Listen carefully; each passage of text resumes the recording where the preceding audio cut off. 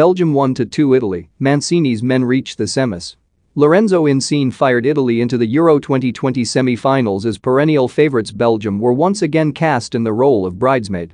The Napoli frontman's sumptuous 44th-minute strike ultimately settled a thrilling heavyweight battle in Munich and booked the Italians a last-four showdown with Spain at Wembley. FIFA's number one ranked side once again exited a major tournament without the prize they crave.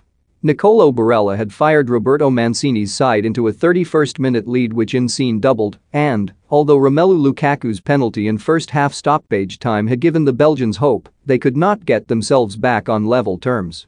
Italy extended their unbeaten run to 32 games and became the first team to win 15 consecutive European Championship matches.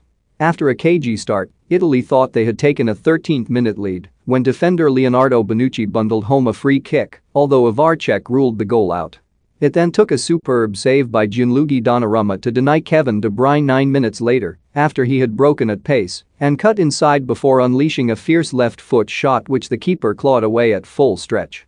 Donnarumma had to be equally resilient four minutes later to repel Lukaku's curling attempt after De Bruyne had sprinted from his own half and sent him in on goal. Italy's response was concerted with Federico Chiesa starting to make an impression, but it was Inter Milan midfielder Barella who broke the deadlock with 14 minutes of the first half remaining. He collected Marco Verratti's pass and shifted the ball onto his right foot before thumping it past the helpless Thibaut Courtois. Courtois was beaten for a second time within three minutes when Insigne stroked an arcing attempt beyond his despairing dive, but the deficit was halved in stoppage time. Eden Hazard's 19-year-old replacement Jeremy Doku went down in the box under Giovanni Di Lorenzo's challenge, and Lukaku blasted home the resulting spot kick to keep his side in the contest. The Italians did not seem unduly concerned by the setback as they resumed after the break very much on the front foot with Chiesa once again prominent, but with Doku's pace a constant threat on the counter.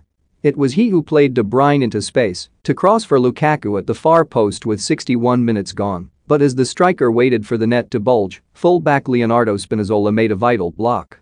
Spinazzola might have increased Italy's lead had he been able to make meaningful contact with Insigne's cross at the other end five minutes later, but his night ended prematurely when he was carried from the field on a stretcher with a muscle injury.